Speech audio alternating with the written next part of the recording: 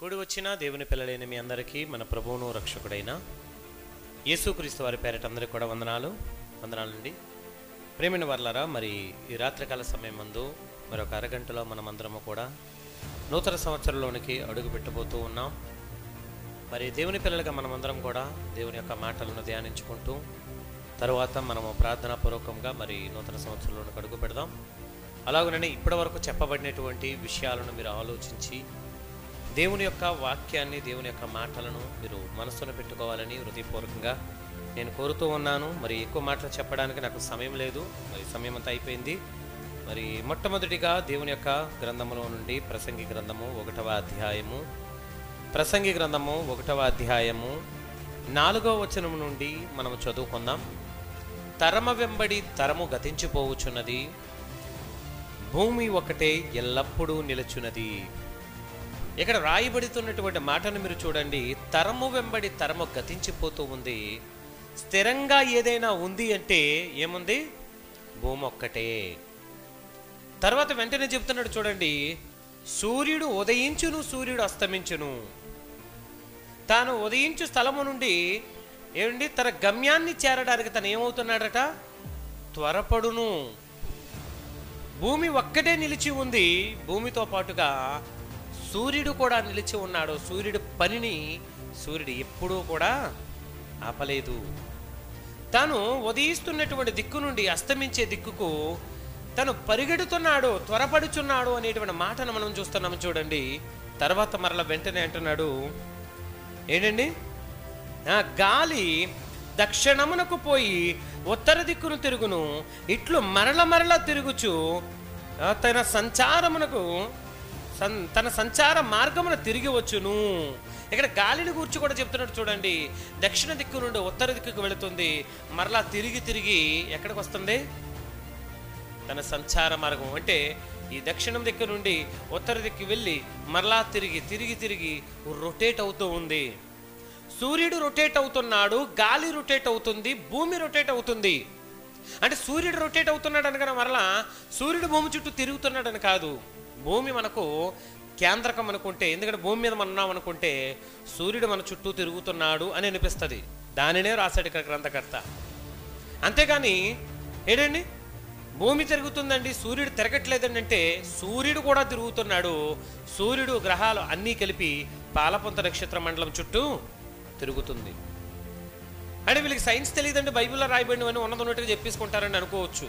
మరి kindly information మీకోసమే. ఇది మరలా చెప్పడం. ఇక్కడ రాయబడిన మాట చూడండి. ఆయన అంటున్నాడు సూర్యుడు ఉదయిస్తున్నాడు ఉదయిస్తున్నాడు అస్తమిస్తున్నాడు. గాలి దక్షిణ నుంచి ఉత్తర దిక్కుకు వెళుతుంది. తన మార్గంలో తన సంచార మార్గం అంటే దేవుడు దానికంటూ ఒక మార్గం వేశాడు. ఆ మార్గములో అది తిరుగుతుంది. తరమ వెంబడి తరమ గతించిపోతుంది. తర్వాత కింద మాట చూడండి.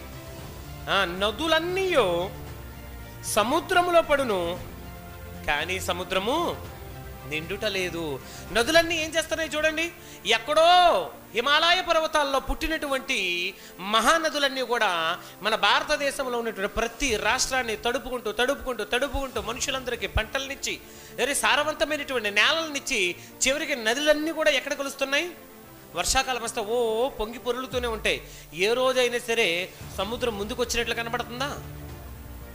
అంటార్కిటకాల మంచు క- మంచు కరిగి సముద్రం నిండుతుంది తప్ప నదులు ప్రవహించడం వల్ల సముద్రం నిండిపోయిందన్న మాట ఎక్కడ కూడా మనం వినలేదు. ఏంటండి? ఇంకా ఇంకా కిందకి చదవండి. నదులు ఎక్కడి నుండి పారి వచ్చునో అక్కడికే ఎప్పుడునూ మరలిపోవునట. సముద్రంలో పడిన నది ఎక్కడి నుంచి వచ్చిందో మరలా అక్కడికి వెళ్ళిపోతుందట. ఇది ఏమైనా నమ్మశక్యంగా ఉందా? ఇందులో సైన్స్ ఉంది. ఇందులో ఏముంది? సైన్స్ ఉంది. ఇక్కడ రాయబడినటువంటి మాటను చూడండి. రాస్తుందెవరు? సొలోమన్ గారు. సొలోమన్ గారు అంటున్నారు నదట హిమాలయాల్లో పుట్టినటువంటి నది సముద్రంలోని పడిపోయి మరలా హిమాలయాల్లోకి వెళ్తుందట. ఇదంత విచిత్రము. అలా వెళ్ళడం ఎప్పుడైనా చూసారా ఎవరైనా? ఏ బాబోయ్ ఎన్ని తప్పులు ఉన్నాయి బైబిల్ గ్రంథంలో? అంటారు. తప్పు ఒక్కటే లేదు. ఎంత కరెక్టో తెలిసింది హండ్రెడ్కి హండ్రెడ్ పర్సెంట్ ఇది కరెక్ట్ ఇది. ఎందుకో తెలుసా? నదులన్నీ కూడా సముద్రంలోకి వస్తే మరలా సూర్యుని వేడికి సముద్ర వేడికి ఆవిరై పైకి వెళ్తుంది మంచు కురుస్తుంది మంచు కొండల మరలా నీరు పారి మరలా సముద్రంలోనికి వస్తుంది.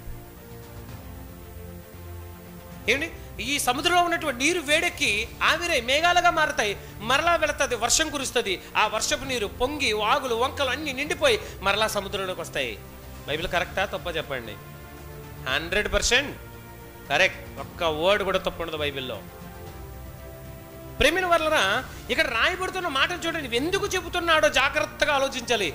ఎందుకు భూమిని గుర్తు చేస్తున్నాడు సూర్యుని గుర్తు చేస్తున్నాడు గాలిని గుర్తు చేస్తున్నాడు నదులను గుర్తు చేస్తున్నాడు. ఇవన్నీ కూడా రీసైకిల్ అవుతున్నాయి. ఏమవుతున్నాయి? రీసైకిల్. మరలా మరలా తన గమ్యానికి వెళుతున్నాయి. మరలా అవి పరిగెడుతూ ఉన్నాయి. తర్వాత ఆ, ఎడతెరిపి లేకుండా ఒకటి ఒకదాని వెనక ఒకటి సమస్తము కూడా జరుగుచున్నవి మనుష్యులు దానిని ఏం చేయజాలరు? వివరించజాలరు. ఎంత చూచినా కన్నుకు తృప్తి లేదు. ఏంటి? ఎంత విన్న విన్నా సరే చెవికి కూడా తృప్తి లేదు. మునుపు ఉండినదే ఇక ఉండబోవునది. మునుపు జరిగినదే ఇక జరగబోవునది. సూర్యుని క్రింద నూతనమైనది ఏదియూ లేదు అన్నాడు. ఇది మెయిన్ పాయింట్. ఇప్పుడు అర్థమైందా? ఈరోజు డిసెంబర్ ముప్పై ఒకటి అర్ధరాత్రి పదకొండు గంటల ముప్పై నాలుగు నిమిషాల సమయం అయింది ఇంకొక ఇరవై ఆరు నిమిషాల్లో మనం ఏమైపోతున్నాము? నూతన సంవత్సరంలోకి వెళ్ళిపోతున్నాము. కానీ బైబిల్ అంటుంది నూతనమైనది ఏమీ కూడా లేదు. మరి నూతన సంవత్సరం దేనికి చేసుకుంటున్నాము? మనం ఒక క్యాలెండర్ వేసుకొని ఒక లెక్క పెట్టుకొని దానికి ఒక కొత్త క్యాలెండర్ ఒక పేజీ తిరగేసి ఏంటండి అమ్మయ్యా ఏమొచ్చింది? కొత్త సంవత్సరం. విచిత్రం ఏంటంటే చైనా వాళ్ళకి ఈరోజు కొత్త సంవత్సరం కాదు. ఏంటండి పురుగులు నల్లులు మిడతలు గబ్బిలాలు దొరికినవన్నీ తినేస్తారు. కుక్కలు నక్కలు ఏంటండి ఏదైనా ఒక జీవరాశి కనిపిస్తే మొన్న ఒక కార్టూన్ చూశానండి. మొన్న ప్రధానమంత్రి గారు నరేంద్ర మోడీ గారు ఒక కుక్క పిల్లని ఎలా నిమురుతున్నాడండి. ఏంటండి యూపీ గవర్నమెంట్ మన సీఎం గారు ఎవరో? ఆదిత్య? యోగి ఆదిత్యనాథ్. అతను కోతిని పట్టుకు ఎలా నిమురుతున్నాడండి? చైనా వాడు చూస్తున్నాడు జిన్పింగ్. కుక్కను చూస్తున్నాడు ఎలా తిందామా అనేది. ఏంటంటే ప్లేట్లో ఎంత పెట్టుకున్నాడు ముందుని కుక్క మాంసాన్ని. అంటే జస్ట్ కామెడీ కార్టూన్ అంటారు కదండి మీమ్స్. వాళ్ళకి లేదు న్యూ ఇయర్. ఏ వాళ్ళకి రోజు మారట్లేదా? వాళ్ళకే కాదు ప్రపంచంలో చాలా మందికి న్యూ ఇయర్ లేదు. ఈవెన్ యూదులకు కూడా న్యూ ఇయర్ లేదు. పస్కా పండగ రోజునే వాళ్ళ కొత్త సంవత్సరం. నిజమే? నేను చెప్పేది అబద్ధం కాదు. ఎన్నో విషయాలను మనం చూస్తామండి ఈ ప్రపంచంలో ఎందరికో ఇది న్యూ ఇయర్ కానే కాదు. ఎందుకు అంటే బైబిల్ చెప్తే చూడండి సూర్యుని క్రింద నూతనమైనది ఏది లేదు. ఆ కింద అంటున్నాడు చూడండి మరొక మాట. ఇది నూతనమైనదని. దానిని గూర్చి ఒకడు చెప్పినను. అది మునుపు మనకు ఉండినదే. ఈరోజు తెల్లవారిన తర్వాత సూర్యుడు ఒక అరగంట ముందు వచ్చేస్తాడు. ఎందుకు? కొత్త సంవత్సరం కాబట్టి. అవునా? ఏంటండి మనుషులకు రెక్కలు చెగిరిపోతారు. ఎందుకు? కొత్త సంవత్సరం కాబట్టి అవునా? ఏమైనా తేడా ఉంటుందా? ఆకలి? నిద్ర? దాహము? ఏంటండి కోరికలు? పాపము? అన్ని మామూలే. మునుపు ఉండినదే మరలా ఉండబోతుంది అంటున్నాడు చూడండి. పోయిన సంవత్సరం ఎలా జరిగిందో ఈ సంవత్సరం అలాగే ఈరోజు చేసుకుంటే రేపు రాత్రికి హాయిగా గుర్రు పెట్టిన తర్వాత మర్చిపోతాం. ఈరోజు నేను చెప్పిన వాక్యం యోసేపు చెప్పిన వాక్యం అన్నీ కూడా జస్ట్ వినేస్తారు రెండు బెండ్లు పెట్టేస్తారు పడుకుంటారు రాత్రికి టపేలు ఎగిరిపోతాయి రాత్రికే కాదు జస్ట్ హ్యాపీ న్యూ ఇయర్ అని గట్టి కరిసినప్పుడు ఈ చెవుల నుంచి వాక్యం బయటకు పోతుంది ఎంతసేపు ఉంది? ఎంతసేపు ఉంది? జస్ట్ ఏదో ఆనందం నైనానందం అందుకే అంటున్నాడు చూచుట వలన కంటికి తృప్తి లేదు వినటం వలన చెవికి కూడా. మీరు ఎంత విన్నా? మళ్ళీ అమ్మోలే పోయిన సంవత్సరం చెప్పింది వాక్యం. మళ్ళీ ఈ సంవత్సరం అదే చెప్తున్నాను. కొంచెం మార్చి చెప్తాను అంతే అంతకుమించి ఏం లేదు. పోయిన సంవత్సరం కూడా ఎలా గడిచింది? ఈ సంవత్సరం కూడా అలాగే ఉంటాం. మారు మనస్సు చెబుతున్నాడు ఆయన. మారు మనసు మారండి. ఒక విషయాన్ని మీరు గ్రహించుకోవాలి. నూతనము అని ఒకటి చెబితే అది నూతనం కాదు. అక్కడ ఏమంటున్నాడు? అక్కడ వాక్యం ఏమంటుంది? ఒకడు నూతనం అని చెప్పుడు వలన అది నూతనం కాదు. మునుపు ఉండినది ఇప్పుడు ఉంది. కొత్తగా ఏమీ లేదు. స్పెషల్గా అంటూ నువ్వు నేను చేసుకున్నదంటూ ఏమీ లేదు ప్రేమైన వారు అక్కడ అంటున్నాడు చూడండి మునుపు జరిగినదే ఇక జరగబోవునది. సూర్యుని క్రింద నూతనమైనది ఏదీ లేదు. ఇది నూతనమైనదని ఒకడు దానిని గూర్చి చెప్పును అదియును మనకు ముందు తరములో ఉండినదే. పూర్వులు జ్ఞాపకమునకు రారు పుట్టబో వారి జ్ఞాపకము ఆ తర్వాత ఉండబోవు వారికి కూడా కలగదు. అంటే నిన్నటి దినాన్ని ఈరోజు మర్చిపోతాం. ఈరోజు దినాన్ని రేపు ఏమైపోతారు?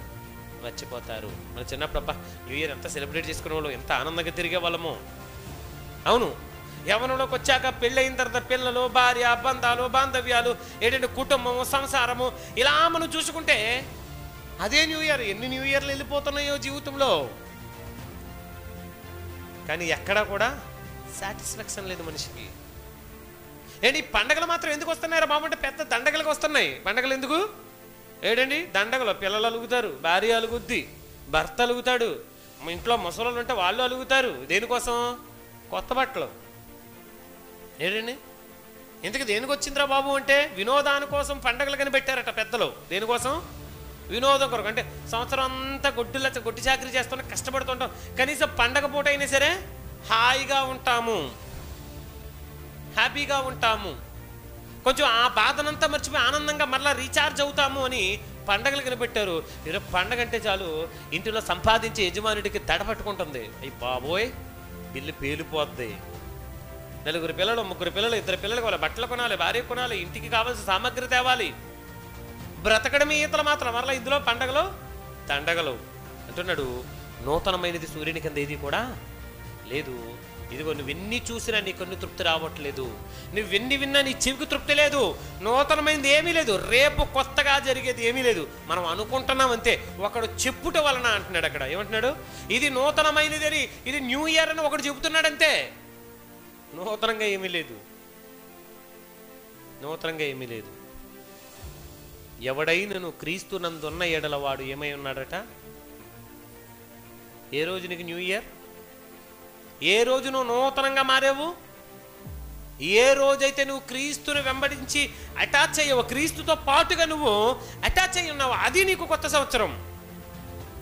వదిలేస్తే కాదు మరలా మరలా పాత జీవితానికి ఎడతెరిపి లేకుండా మరలా దేవుని వదిలేయడం మళ్ళీ అంటుకోవడం. దేవుని వదిలేయడం మరలా దేవుని దగ్గర రావడం. ఎడతెరిపి లేకుండా సూర్యుడు చంద్రుడు గాలి ఇవి ఎలా జరుగుతున్నాయో అలాగే మన జీవితాలు కూడా ఈరోజు ఏమైపోయండి మారిపోయి ప్రేమైన వల్లరా ద్వితీయోపదేశ కాండంలో ఒక మాట రాయబడి చూడండి ఒకసారి.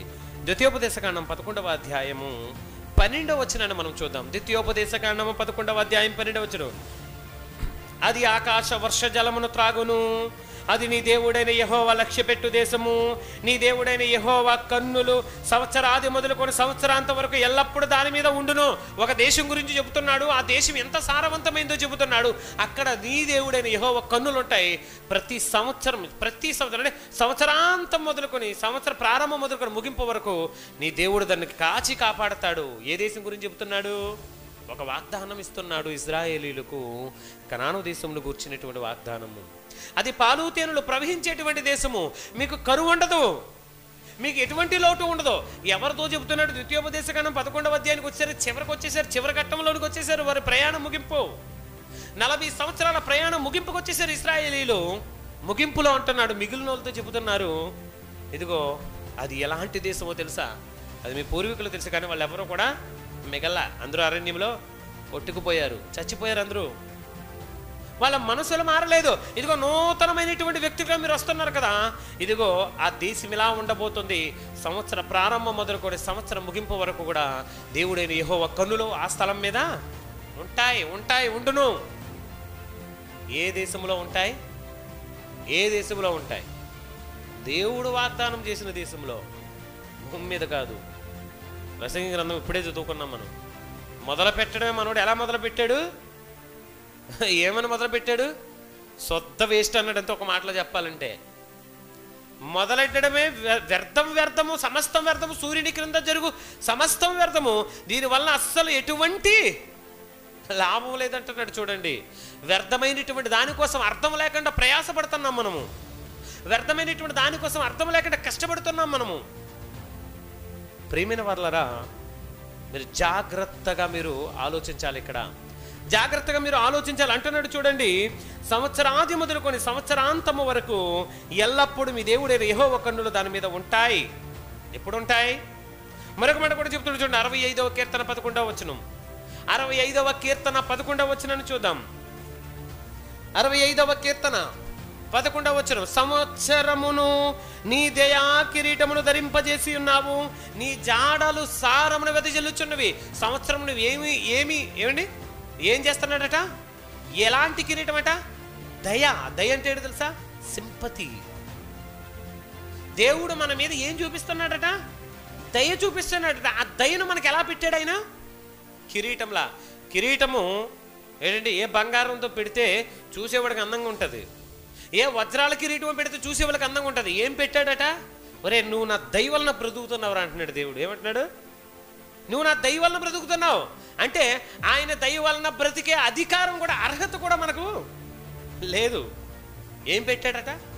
చాలా గొప్పగా పెద్ద ఇంతెంత కార్డులు తీసి రాసేస్తారండి. సంవత్సరంలో దయా కిరీటము దేవుడికి ధరింపజే అసలు దాని అర్థం తెలుసుంటే ఆ కార్డు చూసి అల్లిపో పారిపోతావు నువ్వు. హడలిపో పారిపోతావు. ఏంటి? వాగ్దానము. సంవత్సరంలో దయా కిరీటం ఆయన ధరింపజేసి ఉన్నాడు. ఎందుకు ధరింపజేశాడు? కారణం ఏంటి? ఇస్రాయేలీలకు చెబుతున్నాడు ఎందుకు? వీళ్ళు చేసిన వేళ వీళ్ళు చేసిన మంచితనమా? కాదు. పూర్వీకుడైనటువంటి అబ్రాము ఇస్తాకు యాకోబు వాళ్ళ పూర్వీకులు వాళ్ళు చేసినటువంటి ఫలితము. వాళ్ళకి ఇచ్చినటువంటి మాట ఆ మాట చొప్పున ఇస్రాయల్ని తీసుకుని వెళ్ళే కనాను దేశంలోని ఏంటి? సంవత్సరాది మొదలుకొని సంవత్సరాంతం వరకు ఫలించేటువంటి నేలలో వారిని పెట్టాడు. ఫలించేటువంటి భూమిలో పెట్టాడు. ఈరోజు ఇజ్రాయేల్ దేశం అంతా కొండలే. ఏమంటే ఇజ్రాయేల్ దేశం అంత పెద్ద దేశం అంతా చిన్న దేశం అయిపోయింది ఒక కోటి మంది కంటే తక్కువ ఉన్నారు జనాభా. నీకు తెలుసా? ప్రపంచంలోనే హయ్యెస్ట్ టెక్నాలజీ ఉన్నటువంటి దేశముగా ఇజ్రాయెల్ దేశం ఉంది. ఎంతమంది ఉన్నారు? ఎంతమంది ఉంటారు? మన పూరి జిల్లా పూరి జిల్లా మొత్తం కాదు కానీ ఆ పట్టణంలోనే ఇంచుమించుగా నాలుగు లక్షల మంది ఉంటారు సుమారు. అంతేనా? సుమారు ఆ పట్టణంలో నాలుగు లక్షల మంది జీవిస్తున్నారు. కోటి మంది మాత్రమే. అంత చిన్ని దేశము. ఇప్పుడు అంతా గుట్టలో రాళ్ళే. కానీ విచిత్రం ఏంటంటే వాళ్ళు గాల్లో కూడా వ్యవసాయం చేసేస్తున్నారు. మేడ మీద చిన్న ఖాళీ ఉంటే వ్యవసాయం చేసేస్తారు. చిన్న ప్లేస్ ఉంటే అందులో కుండీలు పెట్టి మొక్కలు పెంచేస్తున్నారు.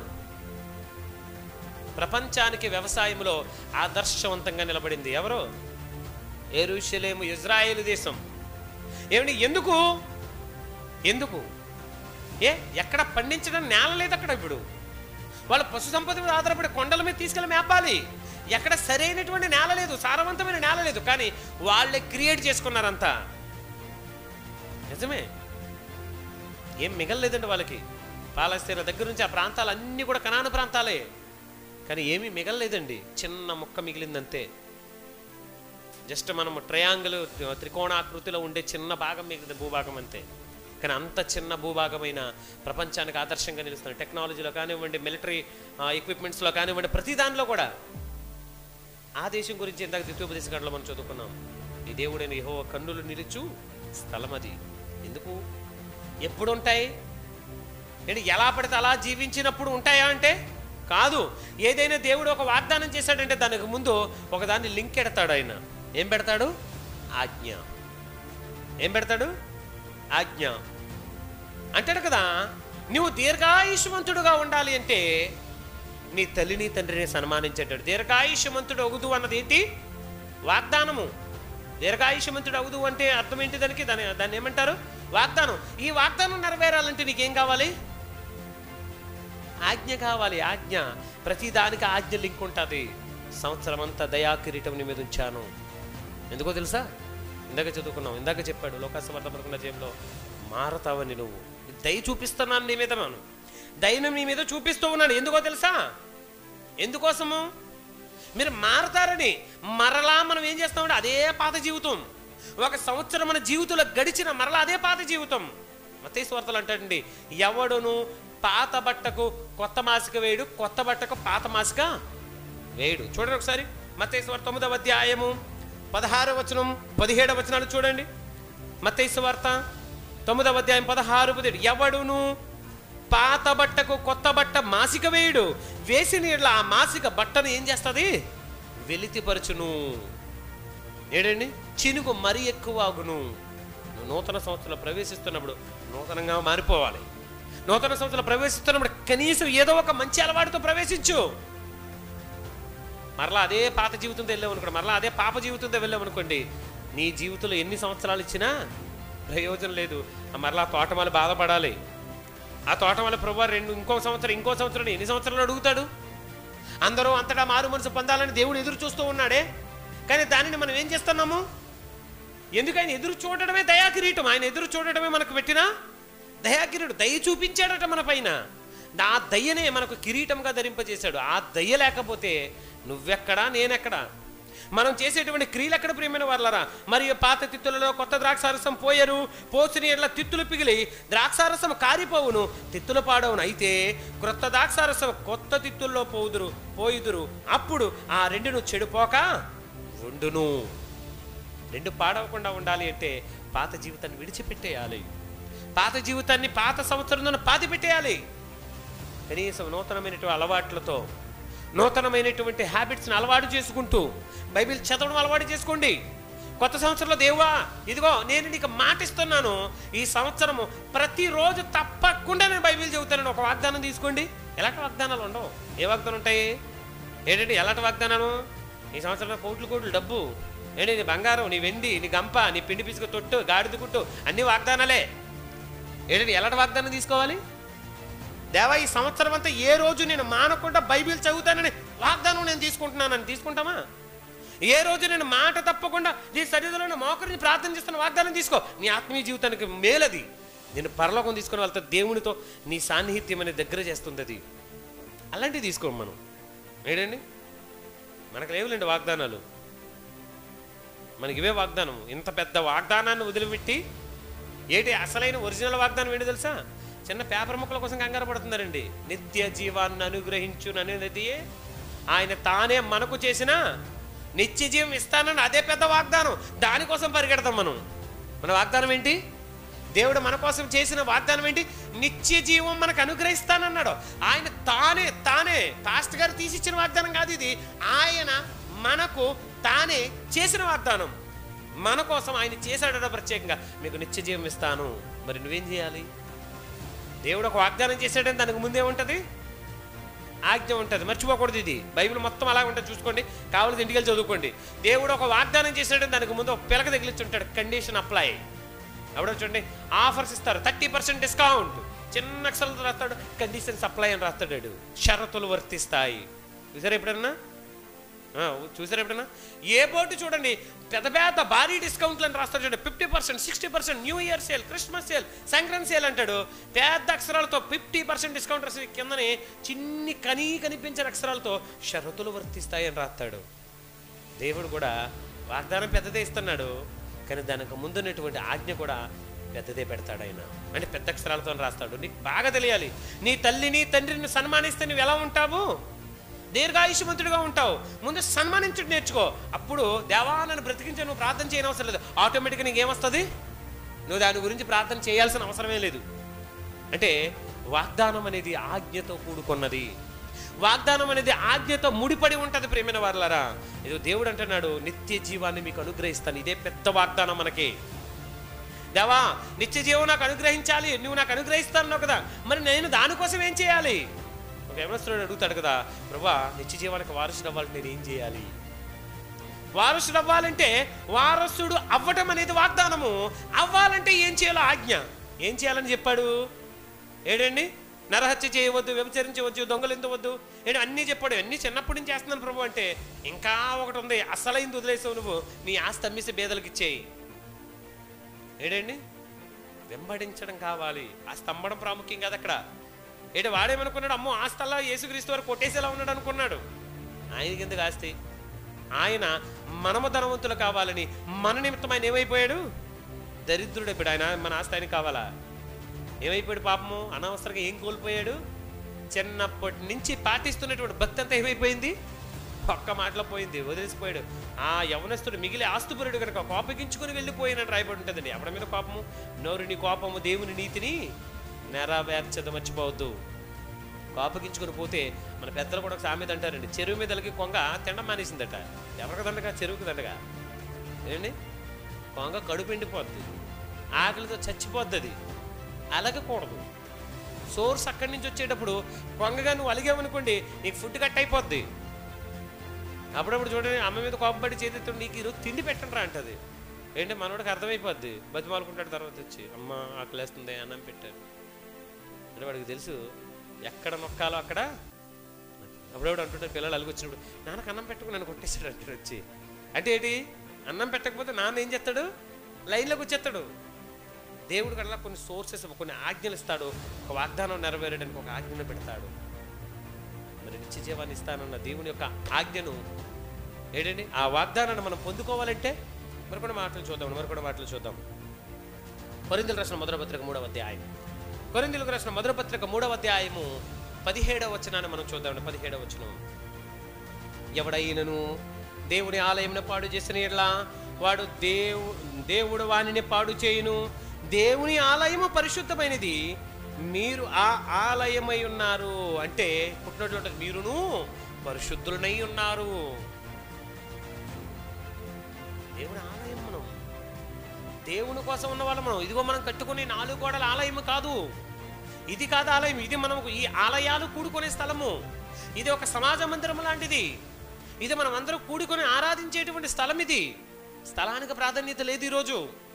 స్థలం అనేది ప్రాధాన్యం ప్రధానమైనది కాదు ప్రియమైన వాళ్ళరా కానీ మనం అందరూ కూడుకోవడానికి ఎండ వాన చలి నుండి మనం తప్పించుకోవడానికి ఒక ప్రదేశం కావాలి కాబట్టి దీన్ని ఏర్పాటు చేసుకున్నాం మనం. దీన్ని శుభ్రంగా పరిశుభ్రంగా కాపాడుకుంటున్నాం. మనం ప్రార్థించుకుంటున్నాం. వచ్చి ఒంటరిగా వచ్చి.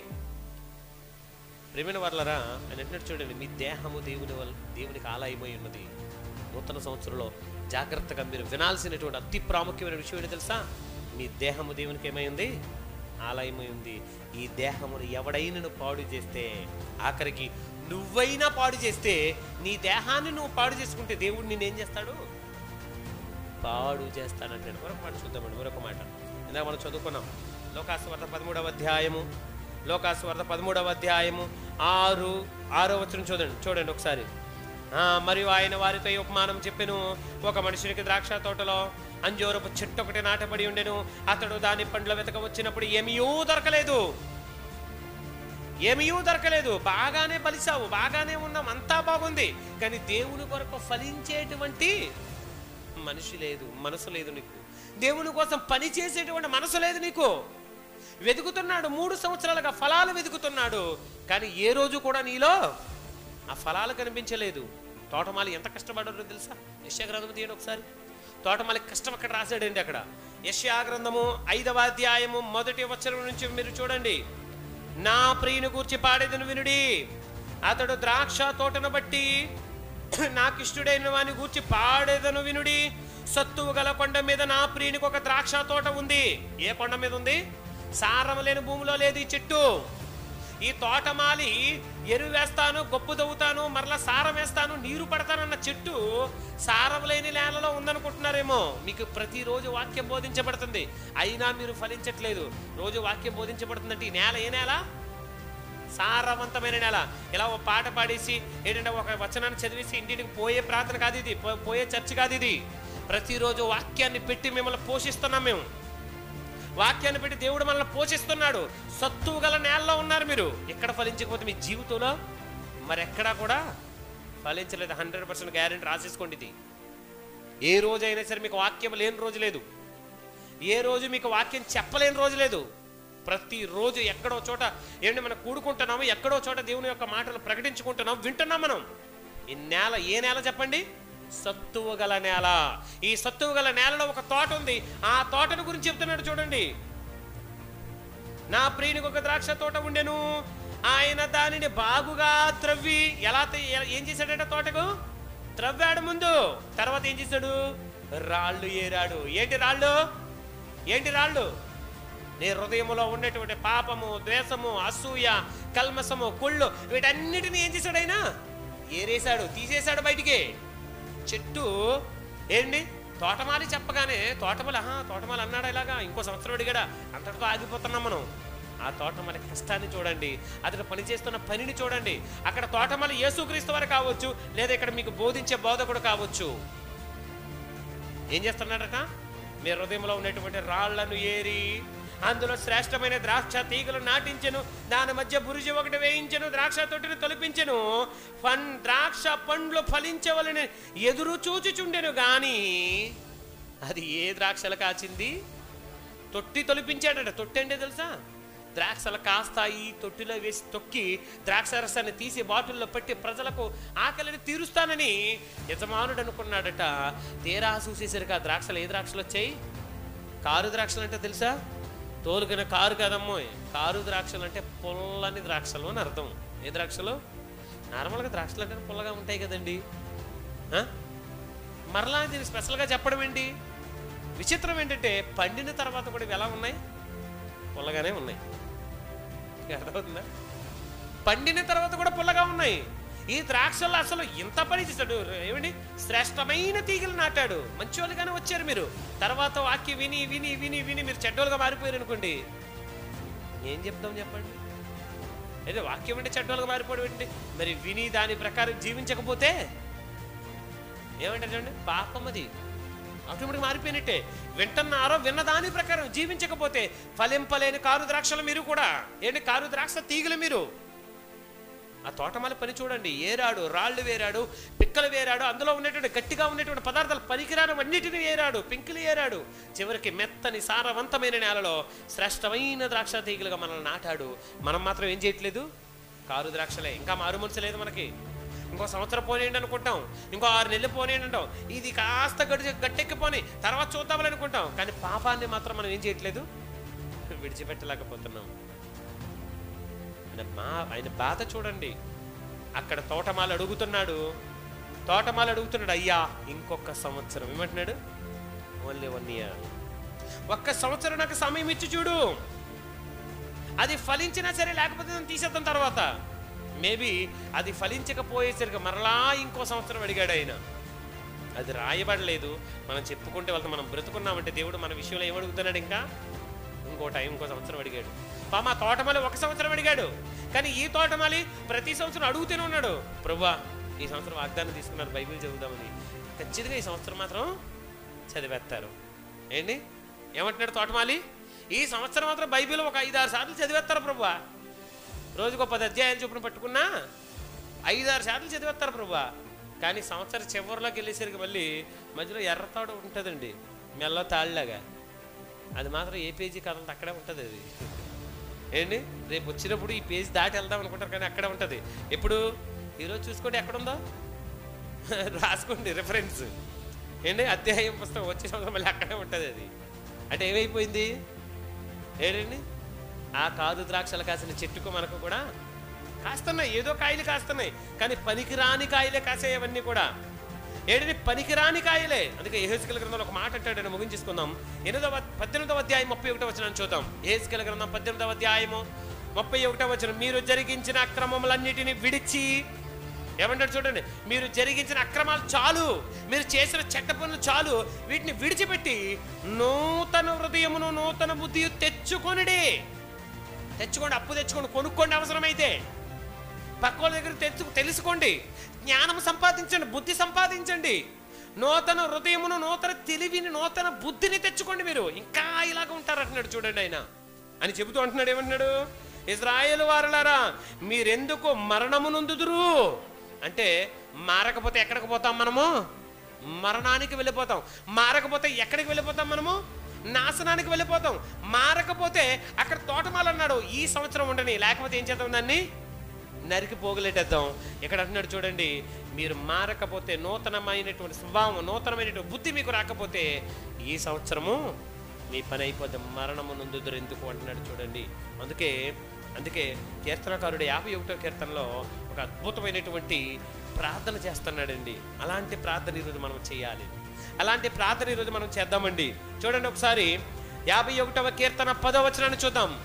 యాభై ఒకటవ కీర్తన పదవచనం దేవా ఏమడుగుతున్నాడు చూడండి మీరు అడగాల్సింది ఇది దేవా నా యందు శుద్ధ హృదయము నాకు కలుగజేయము. నా అంతరంగములో స్థిరమైన మనస్సును నూతనముగా దేనిలో స్థిరత్వం? ప్రభా ఈ రోజు ఈ రోజు నేను పాపం చేయనని నువ్వు ఒప్పుకున్నావు కదా దానిలో స్థిరత్వం. దేవా ఈ రోజు నేను బైబిల్ చదువుతానని నువ్వు అనుకున్నావు కదా? దానిలో స్థిరత్వం. దేవా ఈ రోజు నేను మోకాళ్ళేసి నీ సన్నిధిలో ప్రార్థిస్తానని ఒప్పుకున్నావు కదా? దానిలో స్థిరత్వం. స్థిరమైన మనస్సును నాకు నూతనముగా పుట్టించుము. ఏం పుట్టాలి? రోజు పుట్టింది గంట మోగింది. ప్రయోజనం లేదు. తరమ వెంబడి తరము దినము వెంబడి దినము. సూర్యుడు ఉదయిస్తున్నాడు అస్తమిస్తున్నాడు. గాలి దక్షిణ దిక్కు నుండి తూర్పు దిక్కుకు తూర్పు నుండి దక్షిణానికి. మరలా ఏంటి నదులు ఎక్కడో పుట్టి ఎక్కడో కలిసి మరలా అక్కడికే వెళుతున్నాయి. ఎడతెరిపి లేకుండా తరమి వెంబడి తరమి జరుగుతూనే ఉంది. ఇదంతా వ్యర్థం. కానీ ఏది అర్థమో తెలుసా? నీవు నూతనపరచబడము అర్థం. ఇది వ్యర్థం కాదు.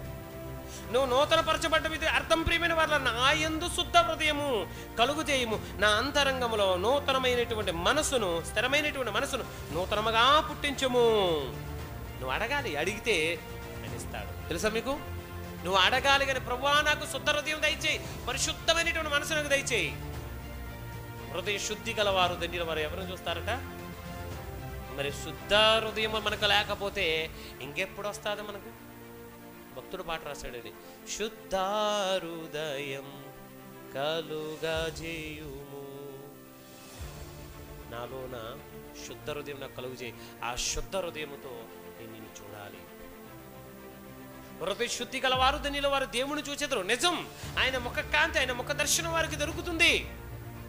అలాంటి శుద్ధ హృదయం నీకు లేదనుకోండి ఏం దొరుకుతుందో చెప్పండి. ఇంకా బాధ జీవితం పాప జీవితంలో ఉండిపోతున్నాం మనం. ఇంకా పాపపు ఆలోచనలో మనం ఉండిపోతున్నాం. ఏసుగల గ్రంథము ముప్పై ఆరు ఇరవై ఆరులో అంటాడు చూడండి ఆ మాట. ఏసుగల గ్రంథము ముప్పై ఆరో ఉదయం ఇరవై ఆరో వచ్చినము ఇది కూడా మనకు వాగ్దానమే. చూడండి ఎలాంటి వాగ్దానం చేస్తున్నాడు? నూతన హృదయం మీకు ఇస్తాను. నూతన స్వభావం మీకు ఇస్తాను రాతి గుండెని మీలోంచి తీసివేసి మెత్తని మాంసపు గుండెని నేను మీకు ఇచ్చేది. ఇంతకంటే గొప్ప వాగ్దానం ఏం కావాలి చెప్పండి మీకు. ఏమిస్తాడట? మరి మీరు అడగాలి. ఇప్పుడు ఇదిగో కొత్త సంవత్సరంలో అడుగు పెట్టాం. మొత్తం దేశం అంతా మారుమో ప్రపంచం అంతా మారుమోగిపోతుంది అప్పుడే. ఏంటండి మారుమ్రోగిపోతుంది ఇంకో పదకొండు గంటల తర్వాత వస్తుంది అమెరికాలో కొత్త సంవత్సరం. ఇంకా రాలేదు వాళ్ళకి. అందాక మనకే రాలేదు అనుకోండి ఏంటండి? అమెరికాలో ఉన్న వాళ్ళకి ఇంకా ఎన్ని గంటల తర్వాత వస్తుంది? పదకొండు గంటలన్నర తర్వాత వస్తుంది. దుబాయ్లో ఉన్నాడు ఇంకో రెండు గంటలన్నర తర్వాత వస్తుంది. మనకు అప్పుడే అయిపోయింది. ఏం చేస్తాం? మన దురదృష్టం. నేను వాక్యాన్ని కూడా మనకు సమయం లేదు. ఏంటండి? ప్రేమైన వర్లారు అంటున్నాడు చూడండి నేను మీకు ఇస్తాను. ఎలాంటి హృదయాన్ని ఇస్తాను? నూతనమైన హృదయము నూతనమైనటువంటి మనసు నేను మీకు ఇస్తాను. మరి మరి మీరు ఏం చేయాలి? మనకు చిన్న కండిషన్ ఉంది. కండిషన్ ఏదో చదువుకుని ముగించేసుకుందాం. ఓకేనా? మరి ఇవన్నీ మనకు కావాలంటే ఒక కండిషన్ కావాలిగా. వాగ్దానం ఉందంటే ముందే ఉంటుంది ఆజ్ఞ ఉంటుంది. వాగ్దానం ఉందంటే దాని ముందే ఉంటుంది కండిషన్ ఉంటుంది. ఆ కండిషన్ కూడా మనం తెలుసుకోవాలి. ఇందాక ఒక కండిషన్ చదువుకున్నాం ఇప్పుడు ఇంకో కండిషన్ చదువుకుందాం. రోమిలకు రాసిన పత్రిక. రోమిలకు రాసిన పత్రిక పన్నెండవ అధ్యాయము. రోమిలకు రాసిన పత్రిక పన్నెండవ అధ్యాయం రెండవ వచనం చదవండి. ఈ ఆజ్ఞను మనం పాటిస్తూ మనం ముందుకు వెళ్దాం. మీరు ఈ లోక మర్యాదను అనుసరించక ఉత్తమమును అనుకూలమును సంపూర్ణమునయ్యున్న దేవుని చిత్తమేదో పరీక్షించి తెలుసుకోవాలి. అప్పుడేమవుద్ది? మీ మనసు మారి నూతనమవుతారు మీరు. మన కండిషన్ ఇస్తున్నాడు చూడండి. లోక మర్యాద వదిలేయండి. లోక అలవాట్లు వదిలేయండి. లోక తలంపులు వదిలేయండి. వీటన్నిటిని మీరు విడిచిపెడితే మీ మనసు మారి మీరు రూపాంతరము చెందుదురు అంటున్నాడు చూడండి ప్రేమిని వల్ల. ఎంత అద్భుతమైన వాగ్దానం అండి దీన్ని మనం విడిచిపెడితే ఎలా? ఎంత అద్భుతమైనటువంటి వాగ్దానం. బాహ్యంగా మనం సంవత్సరం గతించిందంటే నీవు చావుకి దగ్గర అయిపోయిన భయపడి నువ్వు. అయ్యో అప్పుడే ఒక సంవత్సరం గతించిందంటే ఏంటండి? అబ్బా సంవత్సరం వచ్చిందండి. నాకు వయసు వచ్చిందండి వయసు వచ్చింది కదరా నాయన. నీకు మరణం దగ్గర అయింది తెలుసా మీకు? ఈరోజు క్యాలెండర్ మార్గా నీకు ఏం దగ్గర అయింది మరణం దగ్గర అయింది ఒక రోజు నీ జీవితంలో ఏమైపోయింది? తరిగిపోయింది. అందుకే ప్రతి పుట్టినరోజుకి మాట గుర్తు చేస్తాను నేను. పుట్టిన దినాన మనకి ఏమి ఏమి ఏమి తరిగింది ఏంటి ఆయుష్ జరిగింది ఆయుష్ వయసు పెరిగింది అనుకుంటాం మనం కానీ ఆయుష్ జరిగింది. విషయం మర్చిపోకూడదు. దేవుడు మరొక దినాన మనకి ఇచ్చాడంటే కొంచెం అవకాశం ఇచ్చాడు మనకి. మనం మారాలని. అంటున్నాడు చూడండి మీరు నూతన పరచబడాలి అంటే ఈ లోక మర్యాదను మీరు ఏం చేయాలి? విడిచిపెట్టేయండి. లోకంలో ఉన్నటువంటి పద్ధతులు మీరు విడిచిపెట్టండి. దేవునికి ఏది ఇష్టమో దేవుని దృష్టికి ఏది అనుకూలమో దానిని మాత్రం మీరు ఏం చేయాలంటున్నాడు?